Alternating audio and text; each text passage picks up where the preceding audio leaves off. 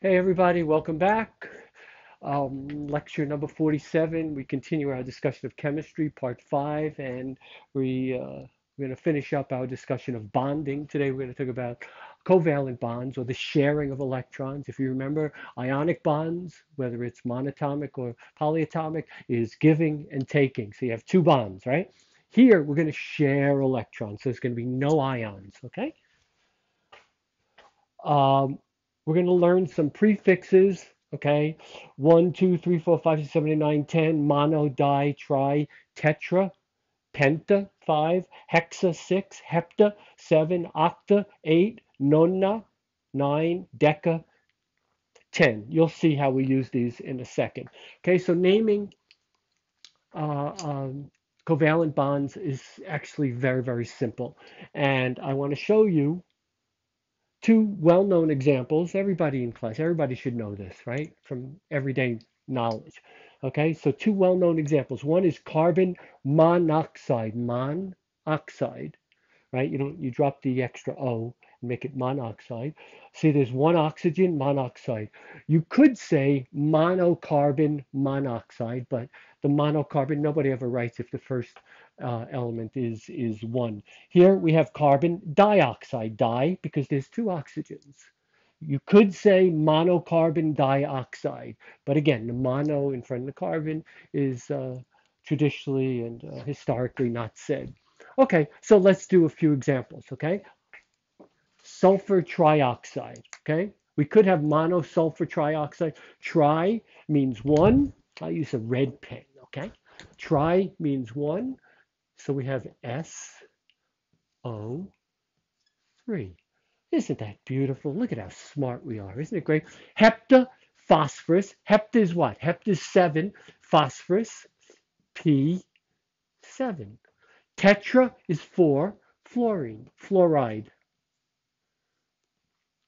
Now, I don't know if these, I know sulfur trioxide exists. I don't know if heptaphosphorus tetra fluoride exists, but I don't really care. We're just doing examples, okay? So these are Mancini made up elements in, in another universe, okay?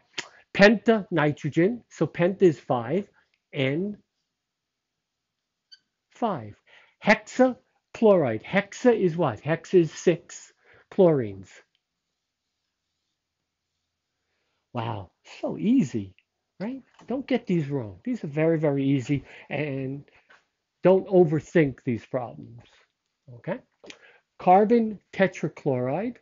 So again, it could be monocarbon, but we write C. Tetra is 4, Cl4. Carbon tetrachloride. Just to tell you, carbon tetrachloride is one of those sprays you can use uh, to clean your electronics uh, it cleans electronic devices. Also, and this was from a former nursing student of mine who was an EMT, told me you could also get a buzz. You can get high on it. So a few years ago, one, one day we had class, and one of the students who was the EMT told me that the night before they had an emergency, and some young man, 20, 21, I don't know, they brought him in the ambulance to the hospital because he took uh, uh, inhaled too much carbon tetrachloride to get a buzz, and the kid died. Okay, so uh, computer cleaning stuff, carbon tetrachloride, don't ingest this and please don't ingest any bleach, okay?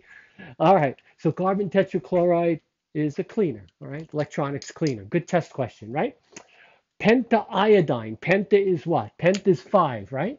Pentaiodine is five.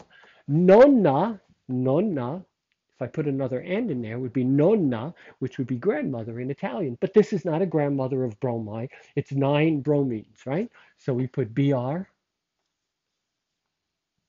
nine. Pentaiodine, nona bromide. Very, very simple. Okay, so let's name the following. Okay, we'll name them together. Ready? I have P3Cl10. So remember, 3 is tri. So it's tri phosphorus, and 10 is deca chloride, triphosphorus decachloride. Let me see if I could write that. Triphosphorus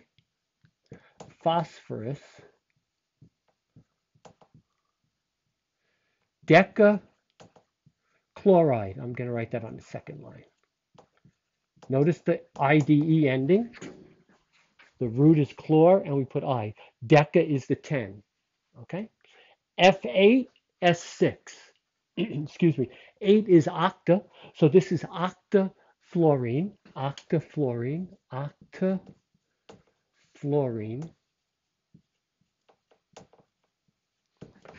S6. 6 is hexa. So we have hexa sulfide. Hexa. Again, I have to write it on different lines. Sulfide. How's that? Okay. Octafluorine hexasulfide. Again, I apologize to all my chemistry friends. I'm just making these up for examples. I don't know if they exist. Not important for us. All right, let's look at Cl2O5.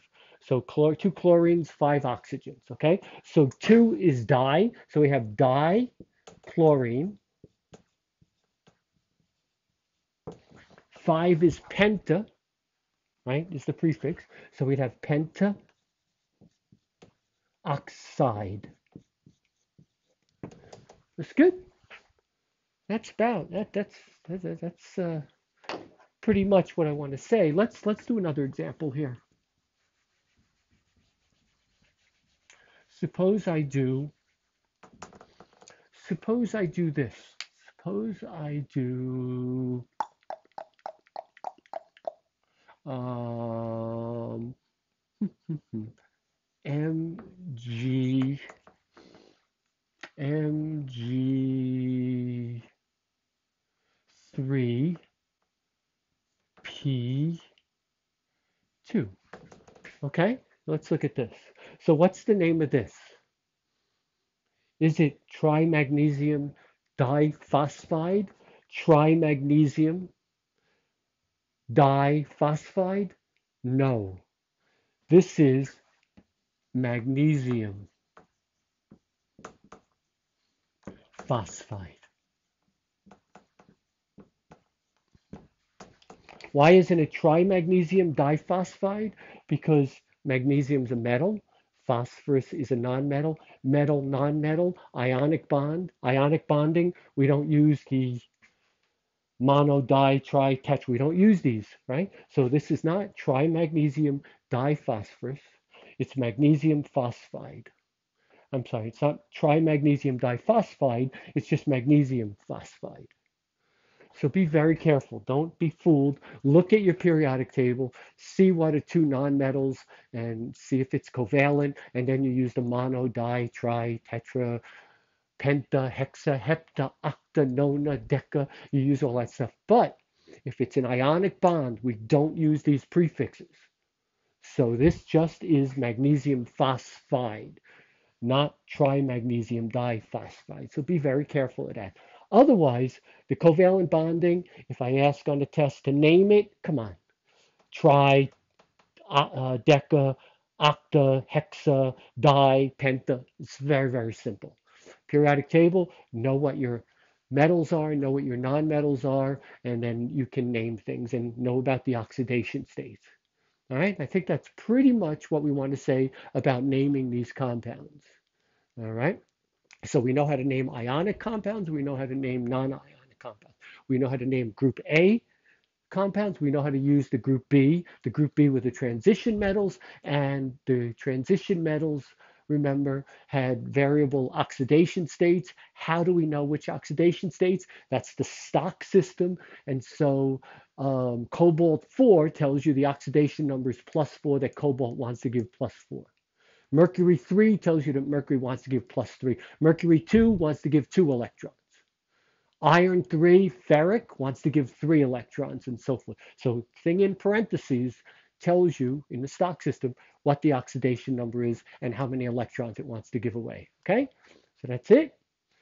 Um, that's all I have to say about compounds and uh, bonding for now. All right. All right. Be safe. Take care. See you next time.